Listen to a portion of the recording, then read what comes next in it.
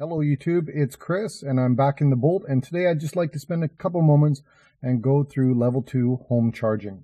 So if you've looked at a few of my other videos, you'll know that I've been waiting a long time to get my Bolt. We ordered it back in December of 2016 and uh, when we first heard that it was on its way, we had this level 2 uh, 30 amp charger installed back in February of 2017. So of course we didn't get the car until June. So a little bit later than we thought. But finally the car is here and we can actually start using the charger.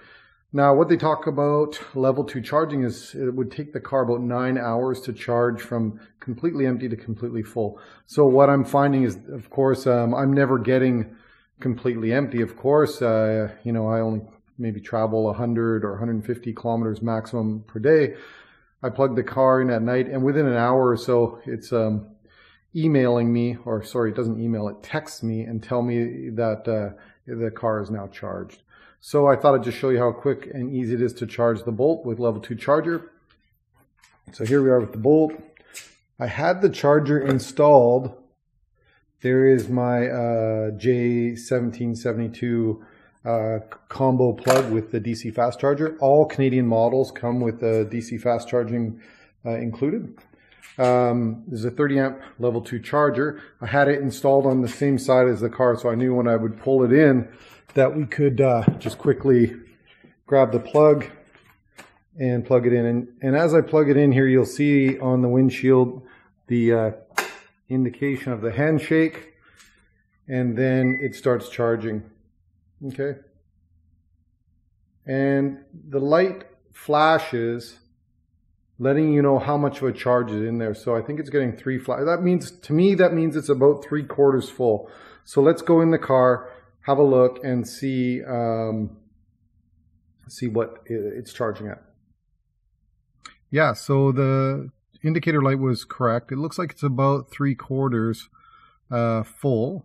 Uh, let's turn the car on and see if we can see the rate at which it's charging. Make sure I turn down the radio here.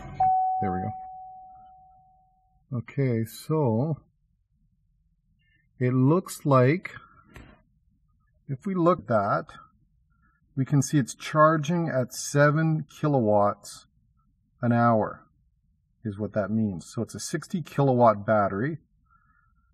Um, so yeah, six or seven kilowatts per hour that it's charging at. So if it's three quarters, I have to do the math on that. About 15 kilowatts.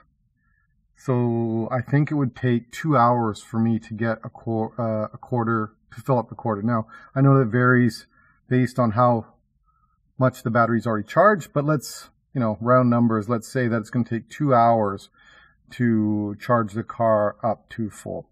Now, we're my house is on a hill, so I've got a reserve built in so that the hilltop reserve will only charge to 90%, such that when I leave in the morning and go down the big hills, I'm still able to do regen braking. Um, if you charge it to 100%, even if you've got it in low mode, the car will not regen because the battery's full, if that makes sense. So uh, if you do the Hills Top Reserve, that takes care of that. Anyway, pretty interesting. I thought you guys would uh, hope that helps. Thought you might find that interesting. Uh, thanks for watching.